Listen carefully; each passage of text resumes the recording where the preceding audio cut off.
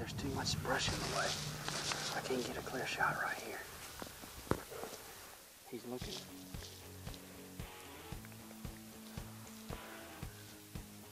Yeah, there's just there's brush right in front of his bike. He's going down the hill. Brian's gun may be sighted in and accurate, All right, he went over the hill. but it won't matter if he can't get into the right position for the shot.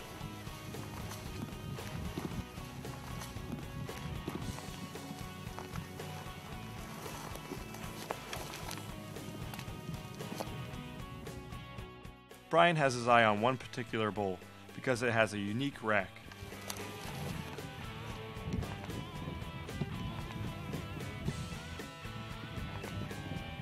It finally moves out in the open away from the brush, and Brian is poised and ready to shoot. I have one chance.